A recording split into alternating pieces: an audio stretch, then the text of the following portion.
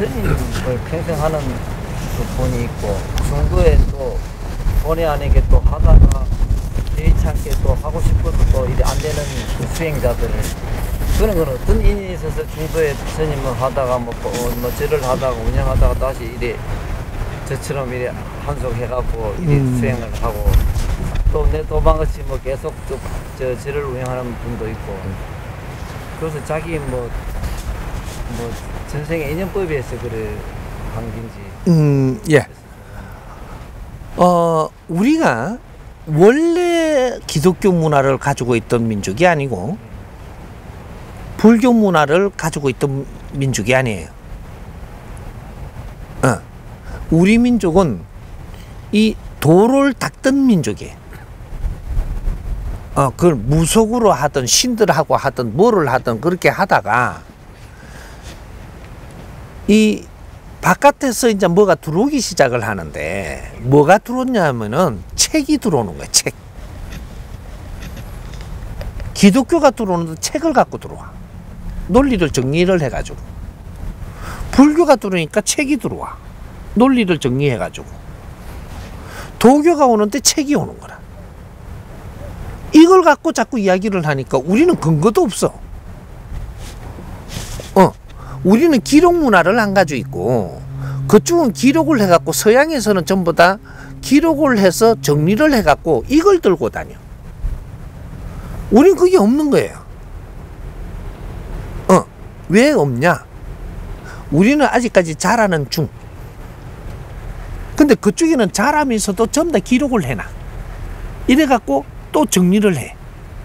이러다 보니까 그걸 근거를 가져갖고 우리한테 이렇게 하니까 누가 불교에 갔고 누가 기독교에 갔냐? 나는 신을 피하려고 신발이 다 있어 놓으니까 나는 신 안 받으려고 불교에는 그게 정리가 돼 갖고 있고 조직이 돼 갖고 있고 뭔가를 가르칠 수 있고 이런 체계가 있는데 우리 신계는 그게 하나도 없는 거야? 민족 신앙이 그래서 발복을 못 하는 거예요. 그러고 있었어. 이렇게 신을 피하려고 그 조직 밑에 들어간 거예요. 그 조직, 조직 신한테 찾아간 거야. 아, 그러니까 그쪽에 우리가 무릎을 꿇으니까 그쪽에서 놀아야 돼. 아, 신을 피려고 기독교 조직 문화에 들어간 거예요. 문화생으로 들어간 거예요, 지금. 어? 불교 문화의 문화생으로 들어간 거라고. 기독교 문화의 문화생으로 들어간 거야, 지금. 내한테 온 내리 뻗는 신을 피하려고. 어.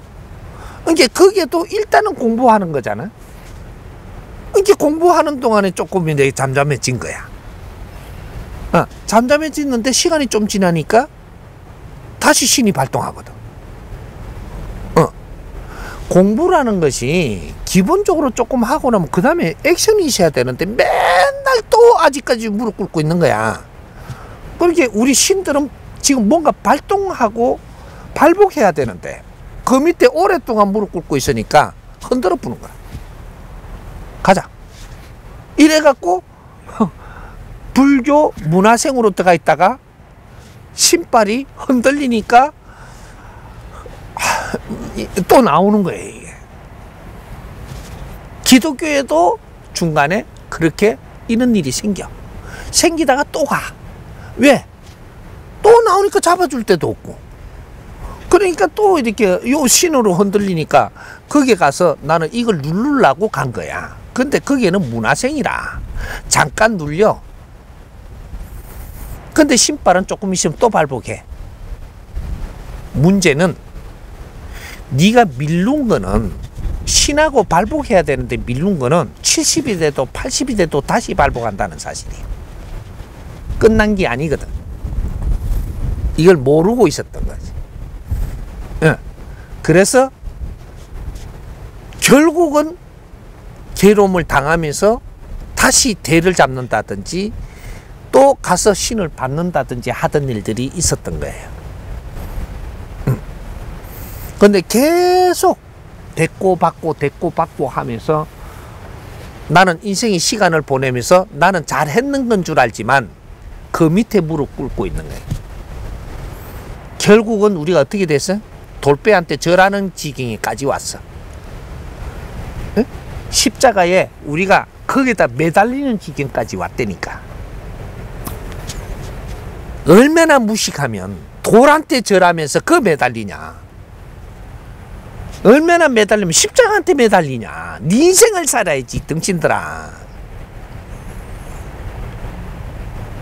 지금 그 지경이 된 거예요. 모르다가 보니까. 예?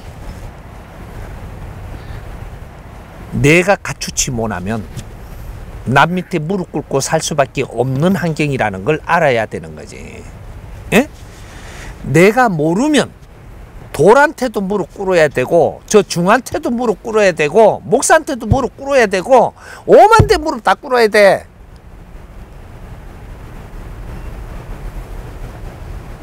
모르면 무식하면 예?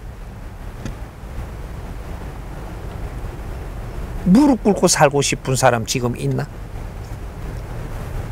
살고 싶? 어. 지금은 없거든. 근데 왜 무릎 꿇냐? 내가 배움이 모질해서 할 수 없이 무릎 꿇을 수밖에 없는 그런 환경에 살고 있는 거예요.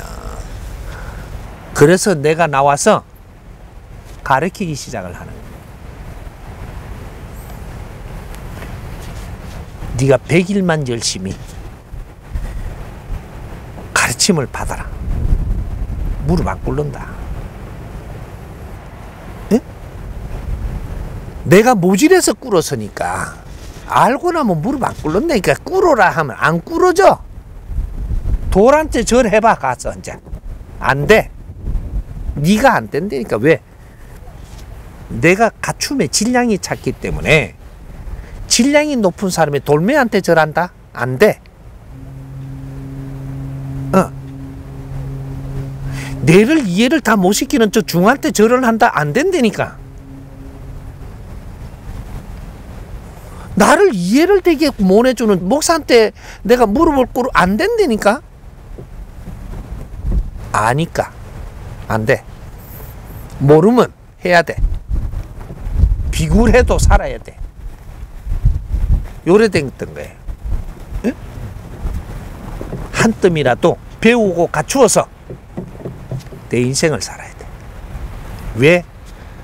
돌멩이한테 절하러 가고 이걸 돌려야 된다 하니까 담주를 돌리고 처자빠졌냐. 지문 없어져. 자꾸 돌리마. 에? 하나라도 배워서 내 영혼의 질량을 갖춰. 내 영혼의 질량이 차면 이 자연에 뭐든지 내가 운용을 하고 이끌 수 있는 힘을 가져. 배워. 내가 이제 전 국민을 아리키고 인류를 아리켜 줄 테니까 배워. 내가 그러잖아. 나는 세상에 그러지로 나오면서 제일 마지막에 마지막 수행자로 나온 사람이야. 내가 딱 두 가지 설을 하고 나왔어. 이 민족이 깨어나라.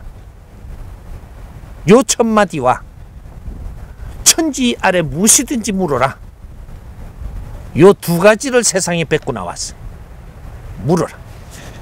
네가 배워야만 네가 자유롭지. 무식하면 어디든지 비굴하게 무릎 꿇고 살아야 돼. 배워야 돼. 네가 배우고 갖추면 네가 신이 되지만 무식하면 짐승 같은 삶을 사는 기라. 배우고 갖춰. 어떤 영혼도 내한테 함부로 할 수 없고 어떤 대신 또 함부로 못해.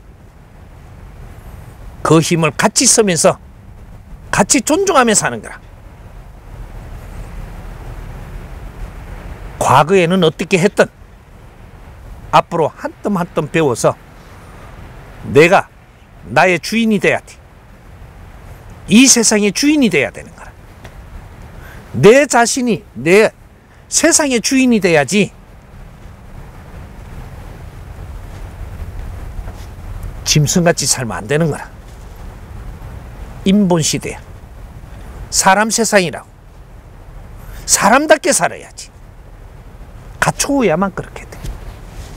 어. 이해되세요? 예,